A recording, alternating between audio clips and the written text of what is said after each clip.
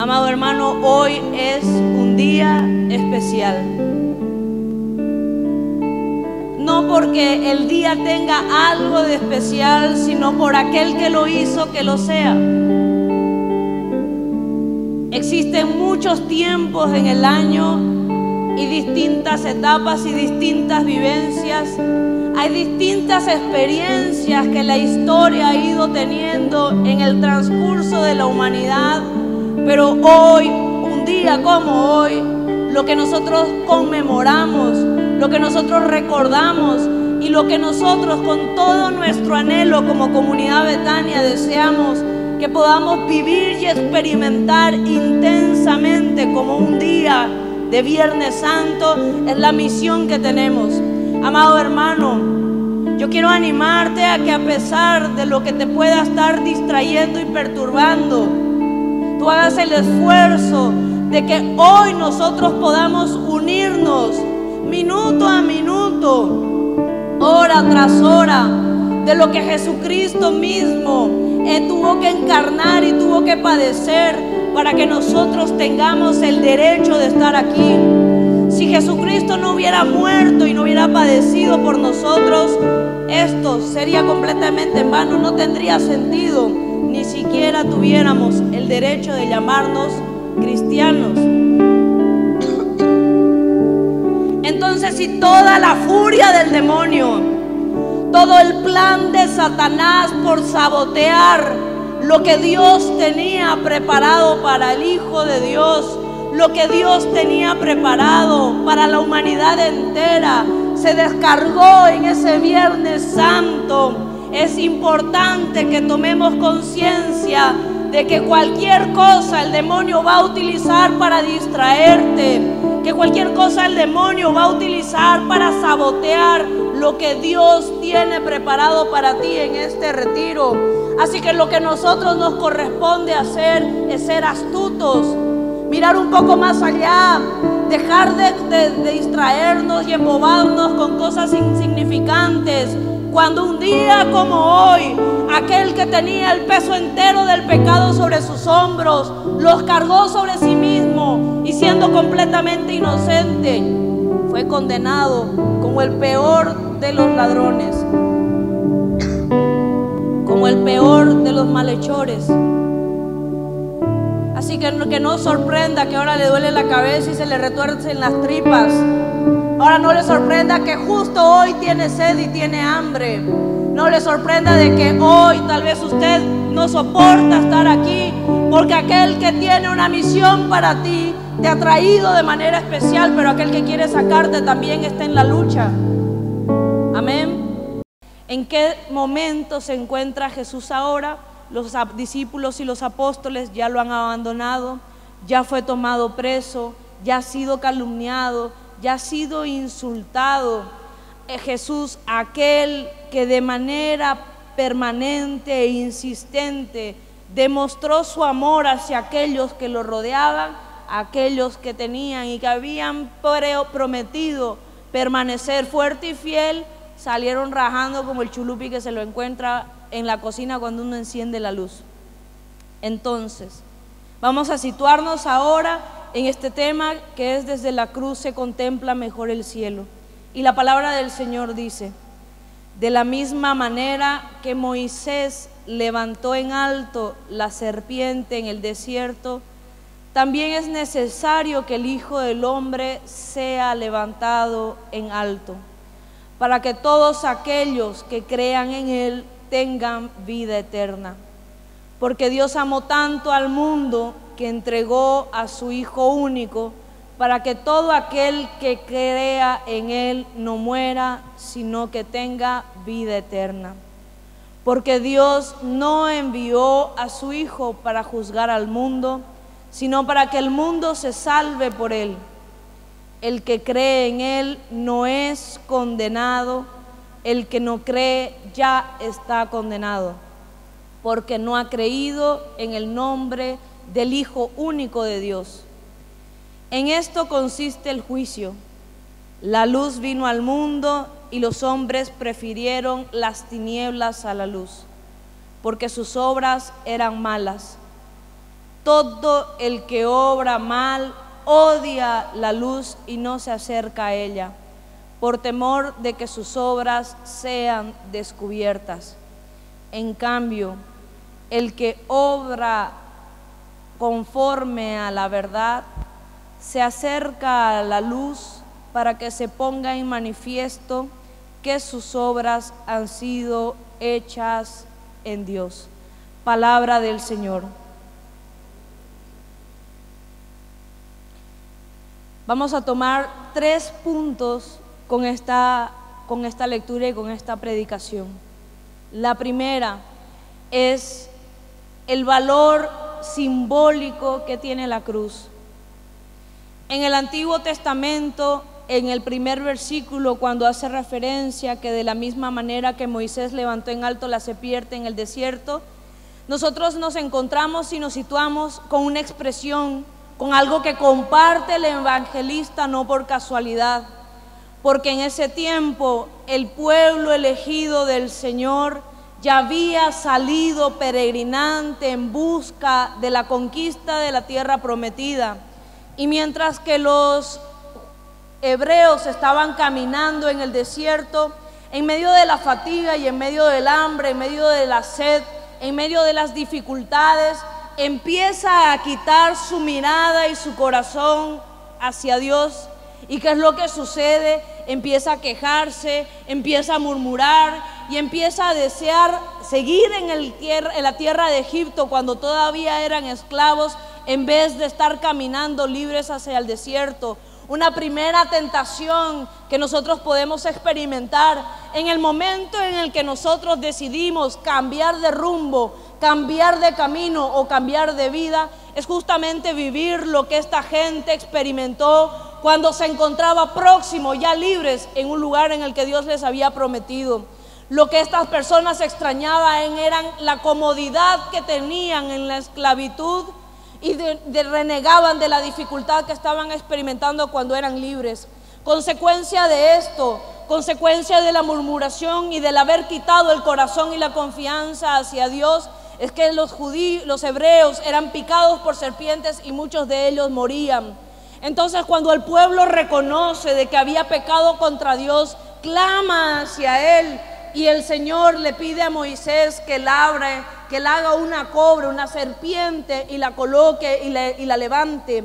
Cuando el pueblo miraba esa serpiente elevada, el pueblo se sanaba de la consecuencia del veneno, de las picadas que tenían.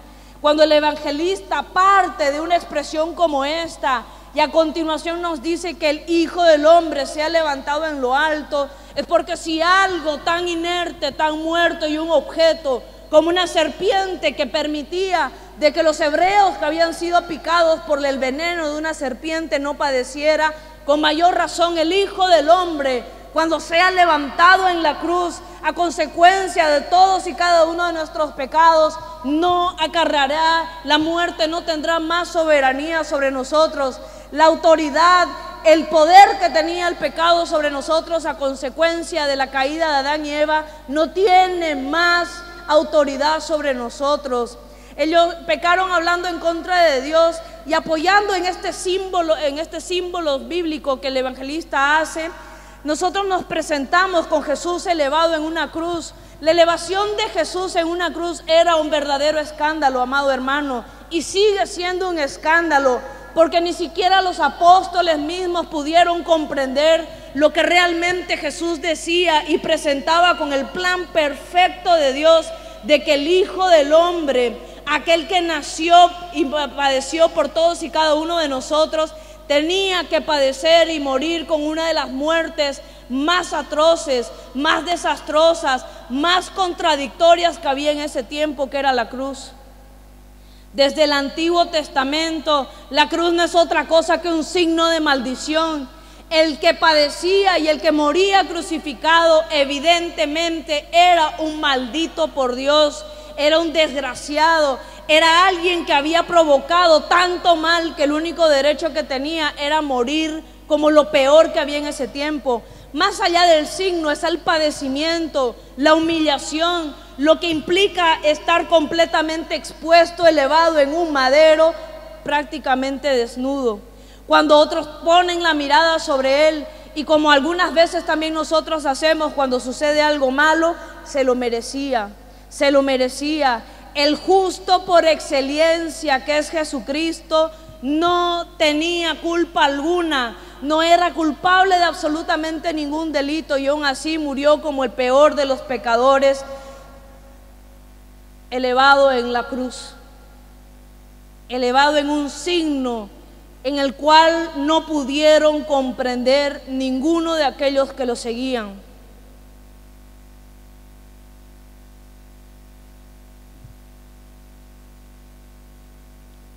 Jesús no anunció solo una vez que iba a morir crucificado. Jesús anunció muchas veces que lo iba a hacer.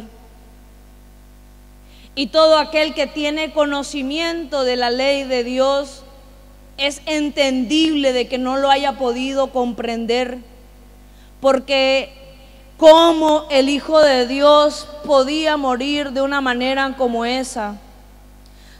En todo, absolutamente toda la comprensión y todo el conocimiento que podía tener esta gente, da a entender y justifica de alguna manera de que en el momento decisivo, de que en el momento en que todo aquel que dijo que daría la vida por él, porque vio lo que hacía, escuchó de la manera en cómo hablaba, comprendió el estilo de vivir que tenía, no haya quedado uno solo.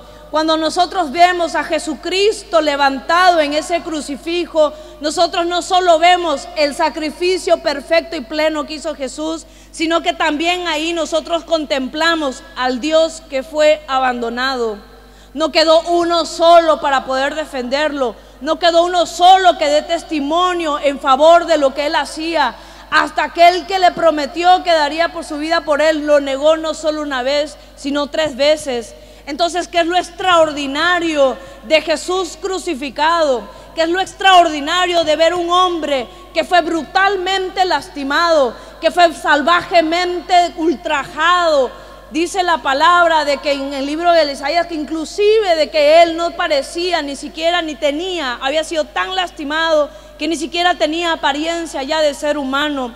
Recientemente ustedes han debido ver una publicación donde ya se ha expuesto el cuerpo de Jesucristo al milímetro construido en base a, los rastros que tiene la sábana de Turín y aquellos científicos identificaron más de 300 flagelaciones, heridas o latigazos que tuvo Jesucristo.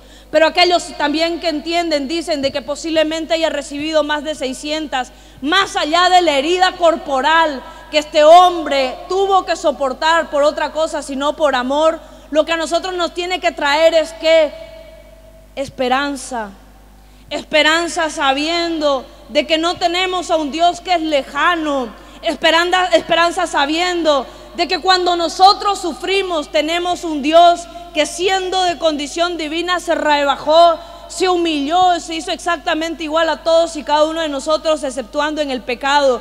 Esperanza sabiendo de que antes de nuestro sufrimiento está el sufrimiento de Jesucristo. Aquel Dios que experimentó en carne propia la fragilidad de todo ser humano, cuando nosotros no comprendemos lo que nosotros estamos viviendo, cuando nosotros no podemos ver cuál es el resultado de la situación en la que nos vemos expuestos, inclusive cuando sentimos que estamos sufriendo injustamente, la cruz de Jesucristo, el justo por excelencia, tiene que traernos justamente eso, paz y esperanza, sabiendo de que antes de que nosotros hayamos sufrido, él sufrió primero. Amén.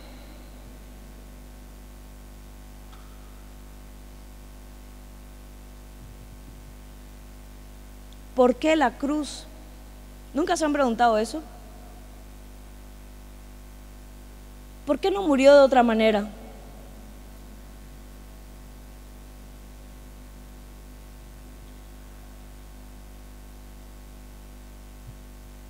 ¿No había otro método? Muchas veces hay expresiones que personalmente las considero equivocadas, como que a uno cuando tiene tal vez en el hogar algún padre con un problema de alcoholismo o cuando tiene en el hogar una persona que está enferma o cuando uno mismo experimenta algo que genera confrontación, a veces hay expresiones que nos dan que dice, es tu cruz, ¿sí o no? La esposa que sufre con el marido que no solo es adúltero, sino que es violento.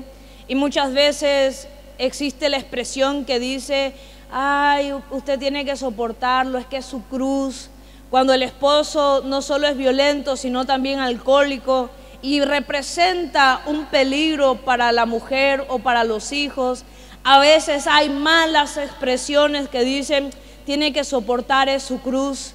Cuando una persona siente una confrontación con su manera de ser, cuando tal vez tiene inclinaciones que de alguna manera sabe de que no son las correctas y una vez las ejecuta de manera inmediata, alguien le dice, ay, es que esa es su cruz, amado hermano, si nosotros creemos de que la homosexualidad, de que el alcoholismo, de que la drogadicción, de que el adulterio, de que la violencia, de que la infidelidad y de lo que sea es una cruz, nosotros estamos creyendo de que Dios es un desgraciado. Amado hermano, no permita de que nadie le haga creer de que el pecado, de que la infidelidad, de que la violencia, de que el abuso, de lo que sea que usted se encuentra confrontado, es la cruz que le puso Dios para que usted siga la vida. Porque no podríamos comprender de que Dios envíe a una persona con cierto tipo de adicción y lo condene a vivir de esa manera solo para que cargue esa cruz. Amado hermano, la cruz que cargó Jesucristo era la voluntad perfecta y plena del Padre. Y no puede ser voluntad del Padre de que en tu hogar haya, haya violencia. No puede ser voluntad del Padre de que tú veas padecer y sufrir hasta lo último a aquella persona que tanto amas y está enferma. No puedes creer que es voluntad del Padre que no puedas superar un vicio, que no puedas tener una sexualidad que esté alineada a la voluntad suya. Amado hermano, la cruz de Jesucristo no es el fin de Dios, pero sí es el camino para poder alcanzar la resurrección y la redención. Entonces, si nosotros creyéramos de que todo lo malo que nos sucede resulta de que es la voluntad de Dios que carguemos con esa cruz, el concepto que nosotros tenemos de Dios es de alguien malvado, es de alguien que se deleita con nuestro sufrimiento, es alguien que disfruta el ver cómo la vida es deteriorada por las caídas, por el bullying, por los abusos, por el rechazo. Amado hermano, la respuesta es no. Esa no es la cruz de Dios. Y mientras que yo oraba por ustedes, lo que yo sentía era justamente eso, de que muchas personas con buenas o malas intenciones les han hecho creer que el tipo de vida que tú estás llevando, el tipo de entorno en el que tú te desarrollas o las acciones que de manera voluntaria has decidido tomar es la cruz que Dios te puso y la respuesta es no. ¿Me dejo entender?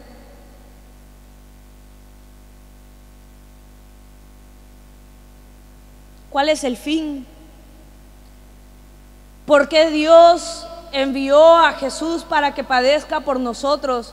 Y con esto no solo los ateos, sino inclusive muchas personas no participantes del cristianismo cuestionan qué tipo de Dios es en el que creemos, que si supuestamente era verdadero Padre, es verdadero Padre de Jesucristo, lo envía a que sufra como tal.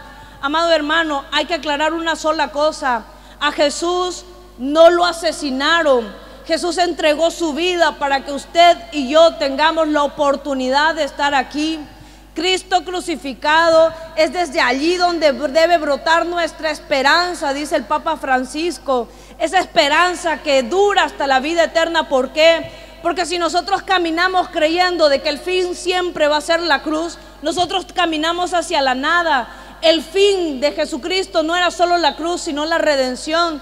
Entonces si nosotros caminamos creyendo de que en algún momento vendrá la contradicción y debemos negarnos, de que la muerte a nuestras pasiones debe traer vida, nosotros sabemos de que no tenemos un Dios que se deleita solo en el dolor, no tenemos un Dios de que solo, se, solo disfruta y cree de que usted está viviendo bien cuando está sufriendo, cuando está padeciendo. Amado hermano, no es así. No es así. ¿Qué realmente ha podido tener la muerte de este hombre para que nadie lo, la olvide 2018 años atrás? Hay mucha gente en el transcurso de la historia que ha hecho obras muy buenas o tal vez ha hecho cosas muy malas, que en su momento murió, se recordó su muerte y de ahí pasó, que ha podido tener la muerte de este hombre para que la historia entera jamás lo olvide. ¿Nunca se ha hecho esa pregunta? ¿Por qué seguimos conmemorando la muerte y la pasión de Jesús? ¿Qué tenía ese hombre? ¿Qué tenía ese hombre para que no lo olvidemos? Tenía el poder de poder rescatarnos de la muerte y del pecado. Tiene el poder para poder transformar la oscuridad en la que estás viviendo en luz. Tiene el poder de poder darle al sufrimiento un sentido. El sufrimiento sin sentido no sirve para nada, amado hermano. El solo autocompadecerse por lo buena o por lo mala que está la vida no tiene sentido. El sufrimiento de Jesucristo tuvo un sentido pleno y es el versículo que tal vez una y mil veces le hemos escuchado, pero posiblemente no tomamos verdadera conciencia de lo que realmente es. De tal manera amó Dios al hombre, de que envió a su único Hijo para todo aquel que crea en Él no muera, sino tenga vida eterna. Y tal vez damos por sentado muchas cosas. Personalmente me sucede a mí también no se comprende absolutamente nada hasta que no se encarna, hasta que no se reflexiona y hasta que no se valora el sufrimiento de Jesucristo por todos y cada uno de nosotros. ¿A quién le gusta sufrir? A nadie, ¿sí o no? A nadie. Y Jesucristo mismo tal vez ni siquiera estaba completamente preparado para ello motivo por el cual en el monte de los olivos ora al Padre y le pide que si fuera posible le pudiera privar, lo pudiera salvar o le pudiera evitar lo que estaba a punto de, de padecer. Pero por sobre todo que no se cumpla tu, mi voluntad, sino la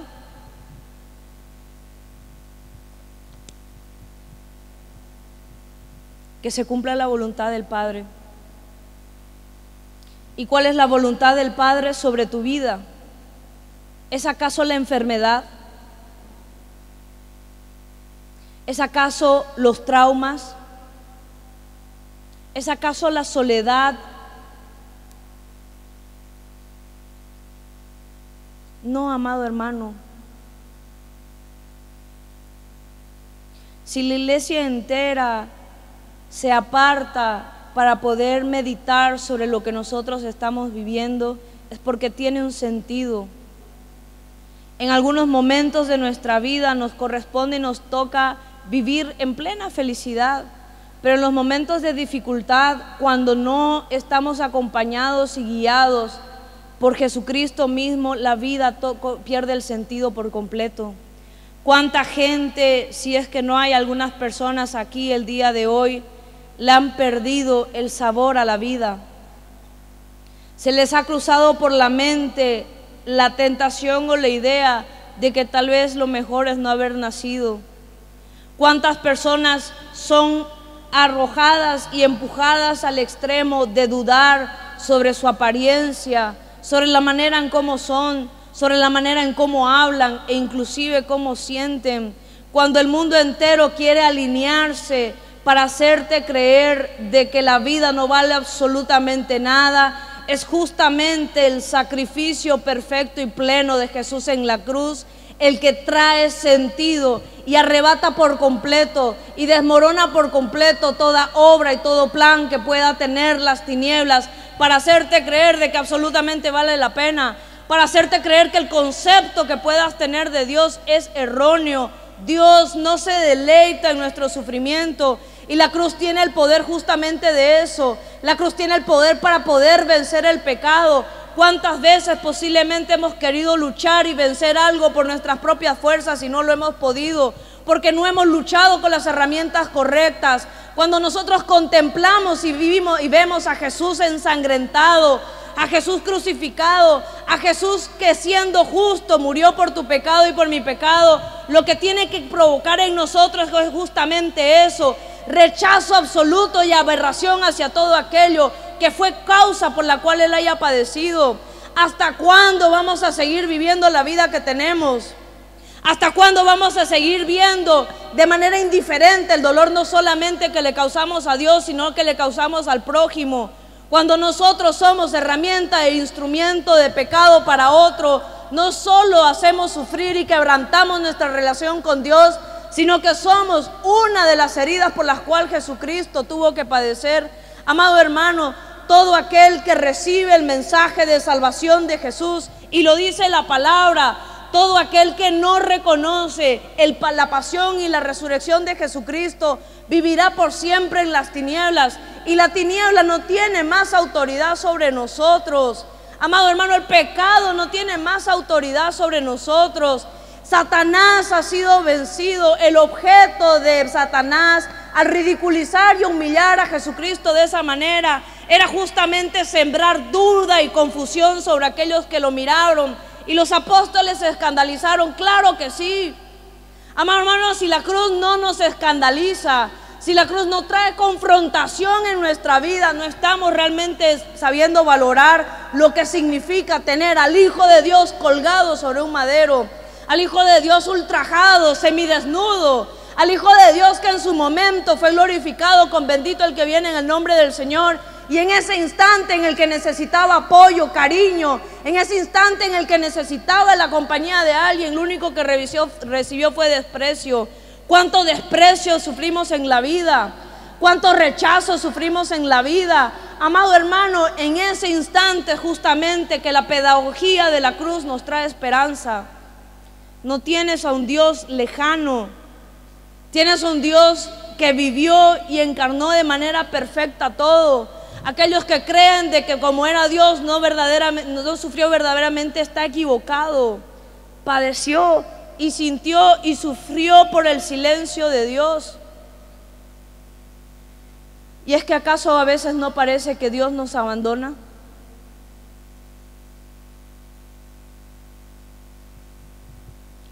¿Dónde está Dios en medio de, las desgracias?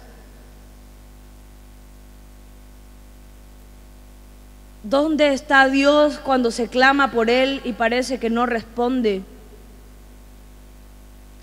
¿Dónde está Dios cuando debería defendernos cuando otros se confrontan contra nosotros de manera injusta? ¿Dónde está? Jesús mismo vivió y sufrió por el aparente silencio de Dios. Y es que justamente en la cruz exclama eso. ¿Por qué me has abandonado? Y la misma palabra asegura de que a pesar de que otros nos abandonen, Él jamás nos va a abandonar.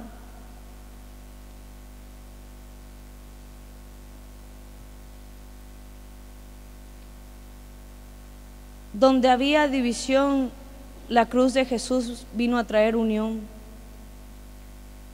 Donde había caos, la cruz de Jesús vino a poner orden. Cuando absolutamente nada se entienda, la cruz de Jesús viene a traernos la certeza de que por sobre todo Cristo reina.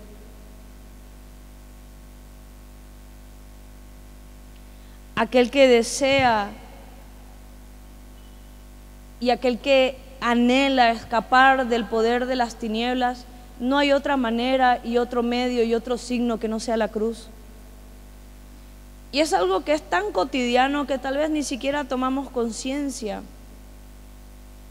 quienes se persignan al empezar el día y esa es su supuesta oración, aunque sea Señor, acompáñame que no me pase nada, amén, y sale. ¿Quién lo hace? Levante la mano.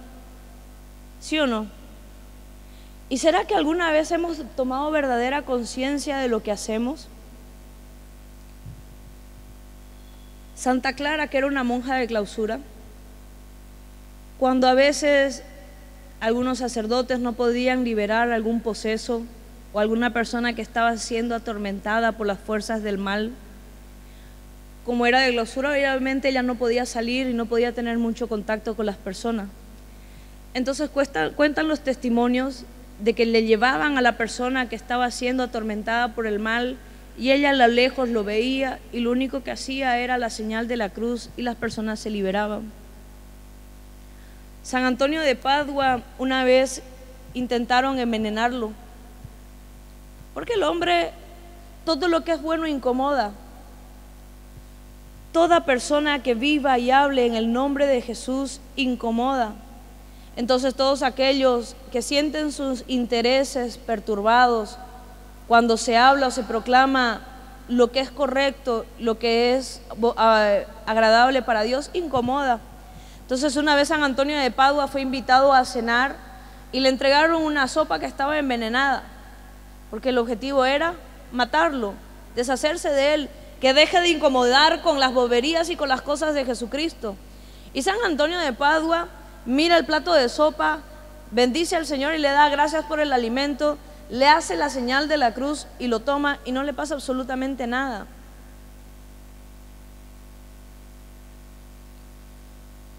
La cruz de Jesucristo va mucho más allá de un simple adorno, amado hermano. La señal de la cruz con la que empezamos misa a misa y con el que empezamos cada momento de oración tiene un verdadero poder de liberación.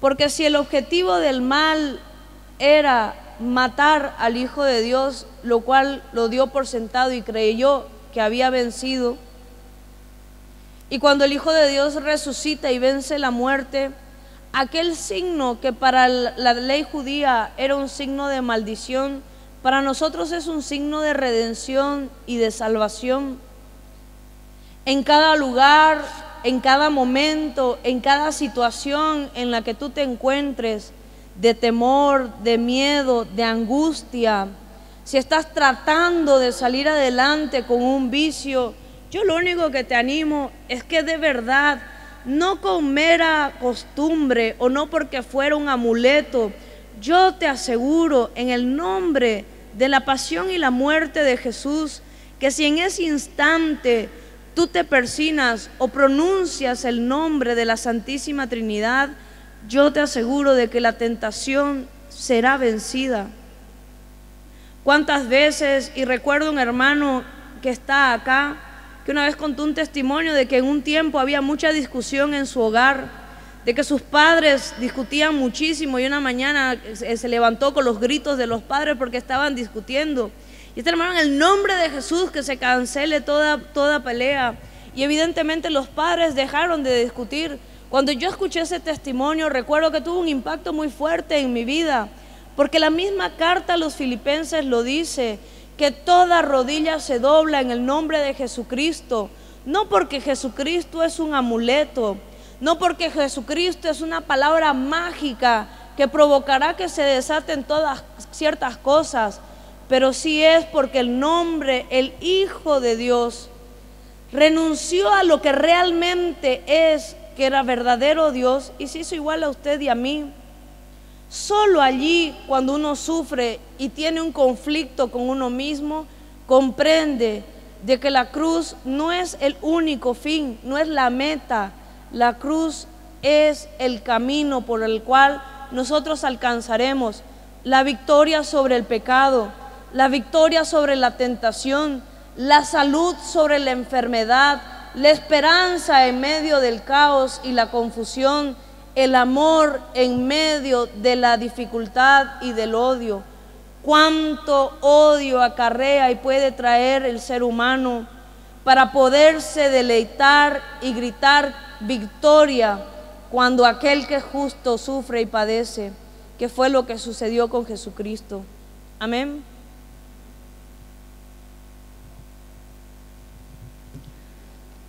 La luz ya vino, que es el, que es el Señor.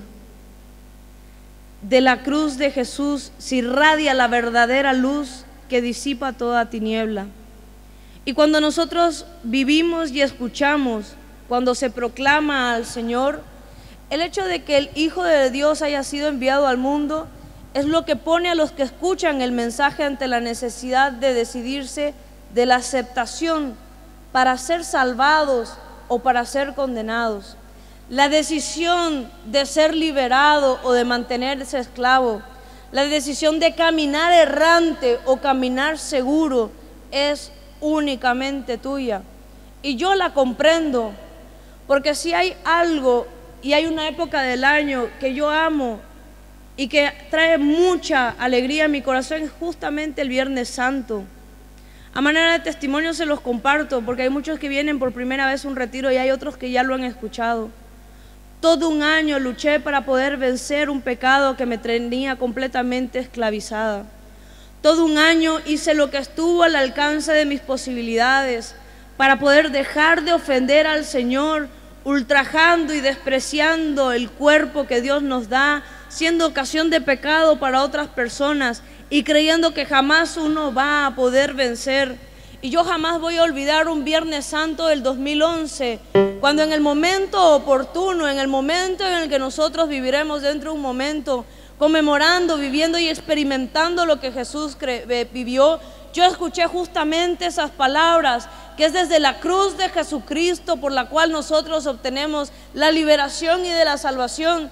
Y solo Dios sabe cómo yo sufría por la manera en cómo yo actuaba. Solo Dios sabe cómo yo rechazaba los pensamientos y sentimientos que tenía.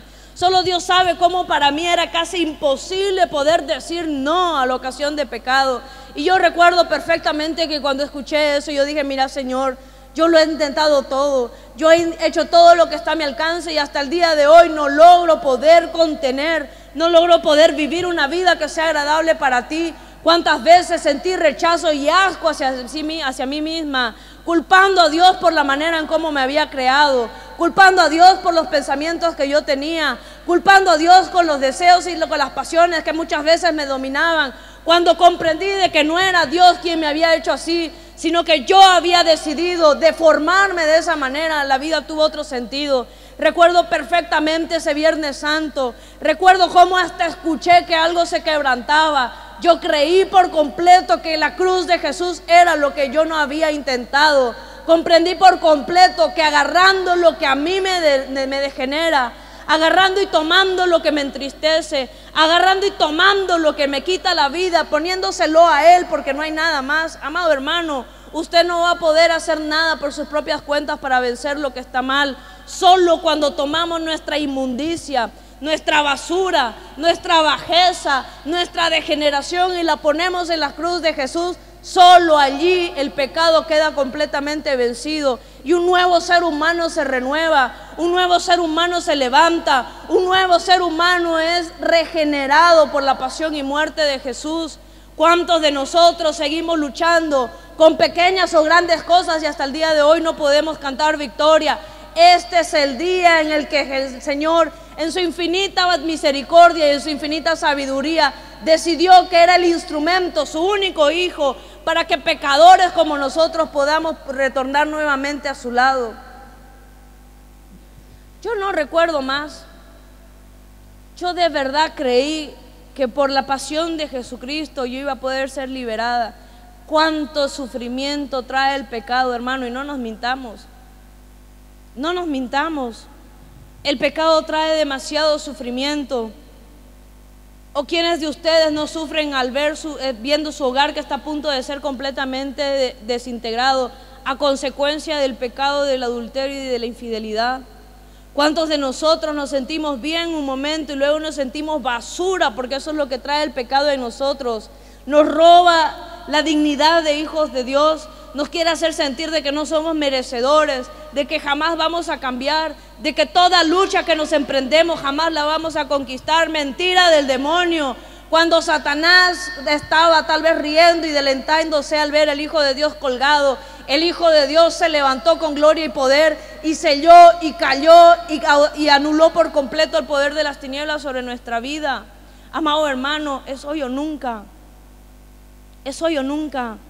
Yo no quisiera que nosotros vivamos este retiro diciendo, cuando salga del retiro voy a cambiar. en el último día del retiro. Es hoy o nunca. La decisión de cambiar, la decisión de reconocer a Jesús como el Hijo de Dios, la decisión de tal vez no comprender, pero sí sentir lo que Jesús realmente vivió es hoy. No permitas de que se te pase la oportunidad. Yo no sé si otras personas en ese retiro lo creyeron. Yo no sé si otras personas también tomaron esa palabra y creyeron que en el nombre de la cruz de Jesús y por la sangre de Jesucristo podían ser liberadas. No lo sé. Yo solo sé que mi vida no volvió a ser igual nunca más hasta el día de hoy. ¿Y eso significa que uno no vuelve a pecar? La respuesta es no, somos todos unos desgraciados y miserables pecadores. Miserables y, miserables y desgraciados. Cuando uno lee la pasión de Jesús y ve que los apóstoles salieron rajando, uno a veces lo juzga, ¿sí o no? Uno dice, no, si hubiera estado ahí hasta la muerte, no, yo hubiera salido corriendo, se lo aseguro, yo no corro ni por mi vida, pero esa vez sí lo hubiera hecho. Hubiera corrido en serio. Y es que acaso con cada oportunidad que nosotros tenemos de mantenernos fiel a Él, ¿no hacemos exactamente lo mismo? Y es que acaso cada vez que se nos presenta la ocasión del pecado, o la ocasión de provocar y hacer el mal en el otro, ¿no estamos gritando Barrabás en vez de Jesús? Tal vez la cruz se ha convertido en algo extremadamente cotidiano y casi ya sin significado y peso para nuestras vidas. Pero para los cristianos no puede ser así, amado hermano. La vida se la afronta los problemas se los vence y las ataduras se destruyen solo tomando conciencia de que el justo murió exactamente por ese pecado que estás considerando cometer. El Santo Padre Pío decía de que, que Jesús no había sido extendido y no estuvo crucificado solo tres horas, sino que sigue colgado de ese madero hasta el día de hoy, porque su sacrificio es perfecto y pleno. Y cada renuncia, cada negación y cada pecado que cometemos es una bofetada, es un insulto, es un escupitajo y es un latigazo hacia el cuerpo de Jesucristo que sufre y padece por nosotros hasta el día de hoy. Amén. Dice que había una vez un joven que estaba cansado de la cruz que estaba cargando.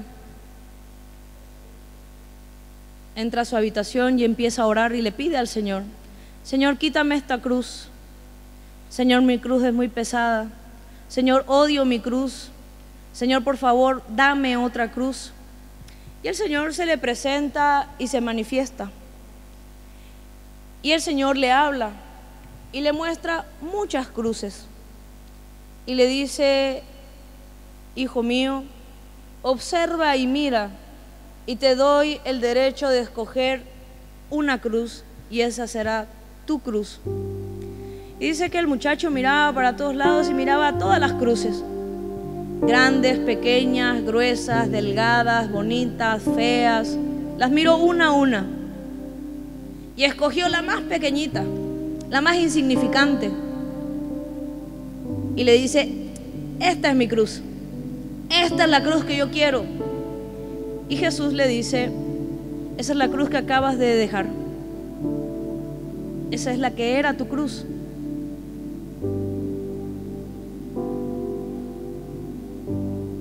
En palabras muy sencillas,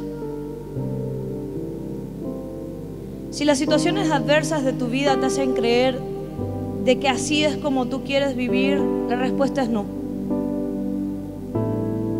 Si lo que estaba viniendo a traer caos y confusión en tu vida, crees que es lo que Dios te envió para que aprendas a vivir con eso, la respuesta es no. Si tu desorden sexual, moral, religioso, ideológico, crees que es la cruz que Dios puso sobre ti para que aprendas a vivir la vida con eso, la respuesta es no. Porque Dios no va a darte algo que va a apartarte de Él.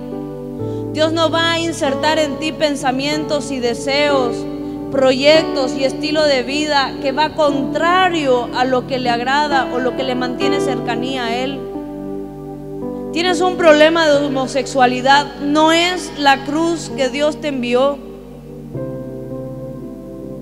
Tienes un problema de infidelidad porque eres incapaz de mantener un noviazgo con una sola persona. O tal vez tu matrimonio está siendo afectado por eso. No es la cruz que Dios te envió porque Dios no te creó adúltero.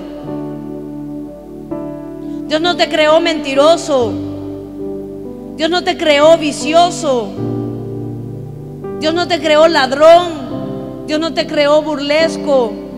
Dios no te, creó, no te creó para nada que no sea malo, sino para todo lo que es bueno. Entonces, amado hermano, quitémonos esa idea errónea de la cabeza.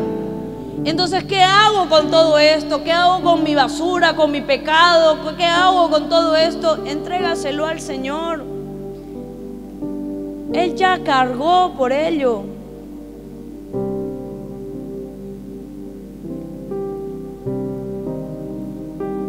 ¿No te gusta tu forma de ser?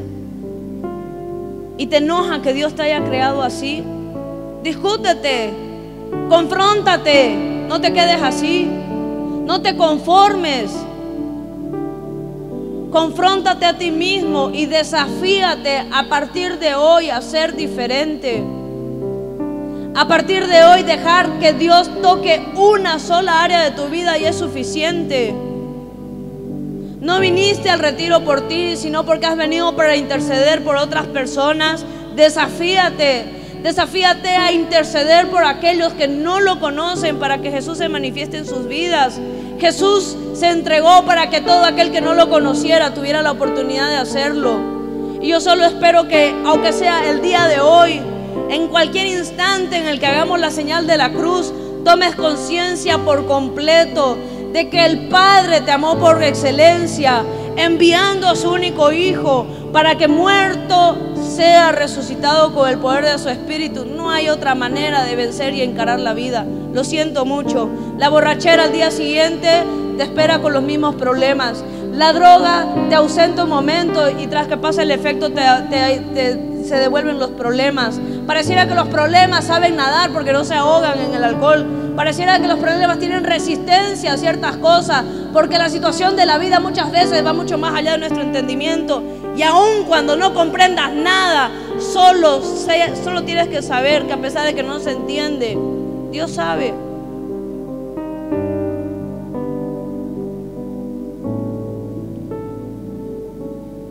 ¿Cómo creen que se sentía Dios al ver a Jesús en el estado en el que estaba?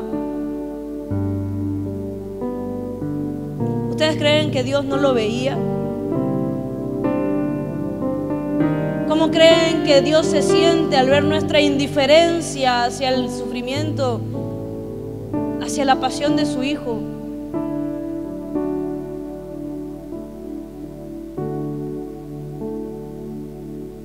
van a levantar la mano, pero alguien, me imagino que muchos hemos debido sufrir de desamor en algún momento de nuestras vidas, ¿sí o no? Uno amó con locura, ahí hay un valiente levantó la mano ahí. ¿Sí o no? ¿Alguna vez no le ha gustado a alguien y ha dicho este y, le ha dicho vas a disculpar, no hay química? ¿Sí o no? Y uno sufre por desamor, ¿sí o no? Uno siente que el corazón se le chorrea hasta por las uñas. Cuando uno, cuando uno sufre por desamor es uno de los sentimientos más horribles que pueda haber, ¿sí o no? Porque uno quería, deseaba, deseaba que lo que tiene para entregárselo y dárselo a la otra persona lo reciba. Y esa persona uno le dice, vas a disculpar, no hay química. ¿Quién me va a olvidar?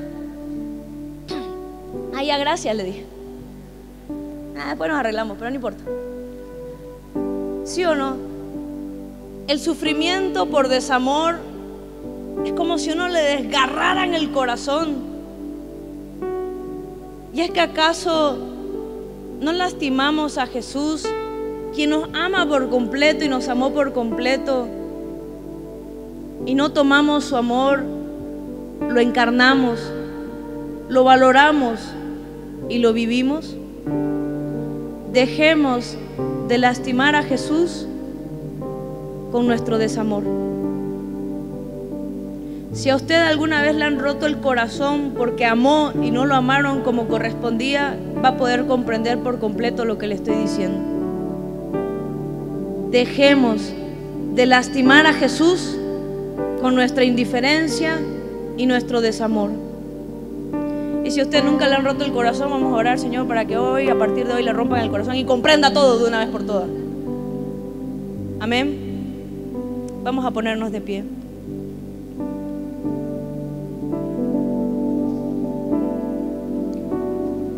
De tal manera amó Dios al mundo que entregó a su único Hijo para que todo aquel que crea en Él no muera, sino que tenga vida eterna. De tal manera Dios te ama. Escúchame bien. De tal manera Dios te ama.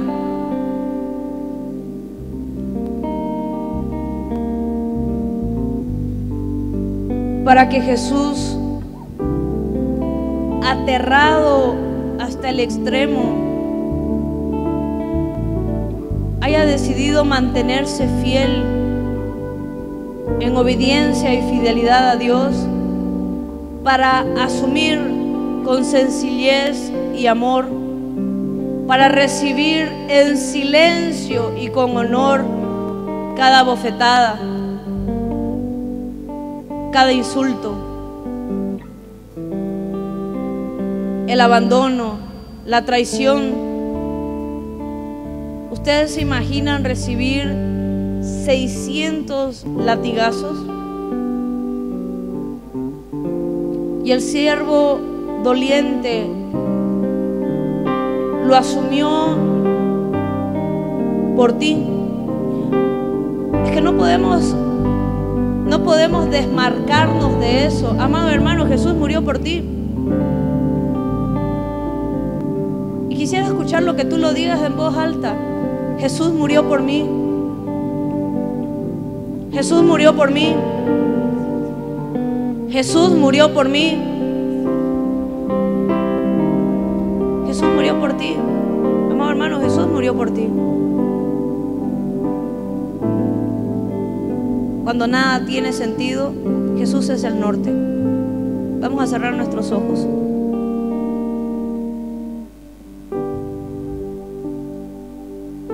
Y de manera muy especial quisiera que hoy puedas identificar tus falsas cruces. ¿Qué cargas con aburrimiento y con enojo? ¿Qué cargas con odio porque te lo impusieron y no lo pediste? Y no estoy hablando específicamente del pecado. Estoy hablando de circunstancias en tu vida que las has cargado y las vienes cargando hasta el día de hoy con amargura, creyendo de que Dios te lo envió.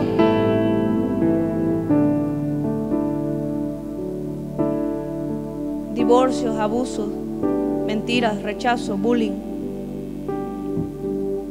traición, desamor, soledad. ¿Quién pide eso? Nadie.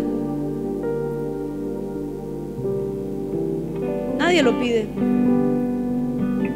Y son falsas cruces. Deja que Jesús le dé el sentido a tu vida hoy.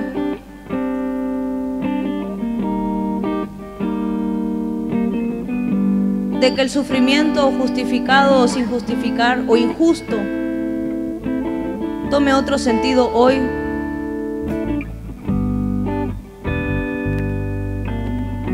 Y si no logras ver y comprender lo que realmente Jesús hizo por ti, pídeselo, te lo pido, por favor, dile, Señor, muéstrame. Muéstrame una sola de tus heridas.